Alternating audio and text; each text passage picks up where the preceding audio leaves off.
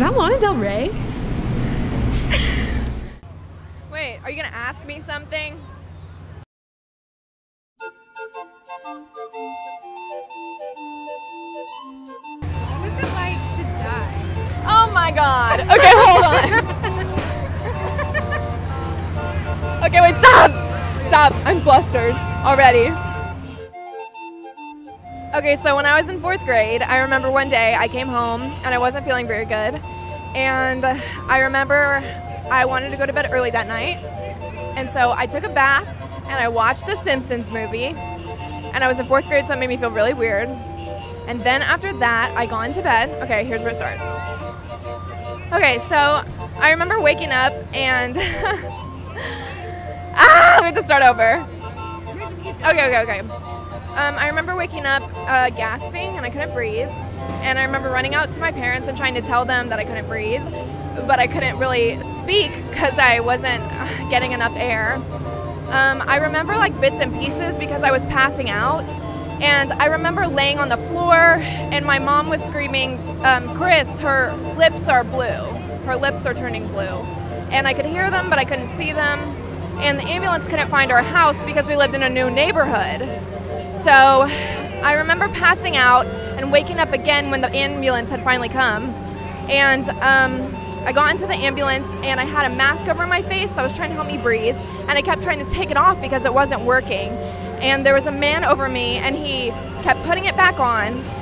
And um, right before the last time I passed out, I remember I grabbed his face and I told him I loved him. And then I remember everything went like white.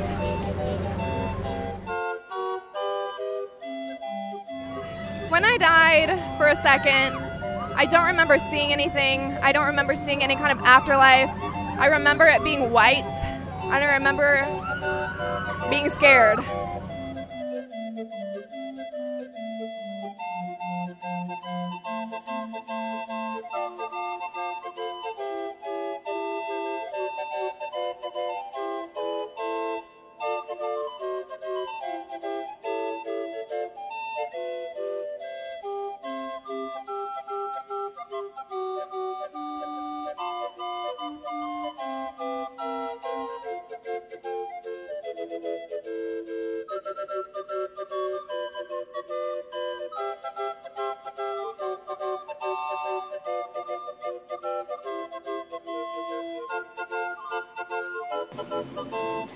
I think death is what gives life purpose. It gives our experiences meaningfulness to know that it can't go on forever. Death gives us a reason to limit our sorrow and grow bigger than our fears. I think for that same reason, death scares me. What if we don't limit our sorrows? What if we never grow bigger than our fears? What if we miss our only chance to live? It's the finality of death, the uncertainty of what comes after. I don't know if I'm more afraid of a conscious eternity or one in which I'm never anyone again. But I think maybe my favorite thing about life is also the uncertainty. There is no one way to live. There's no way to predict how we will live, who we will be, or what will happen to us. I love that two lives could look extremely different, but neither one is right.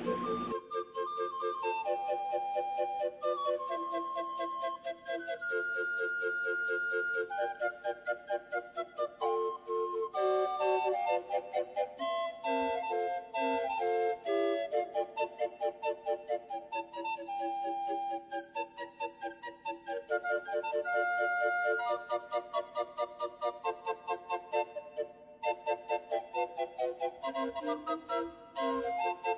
you.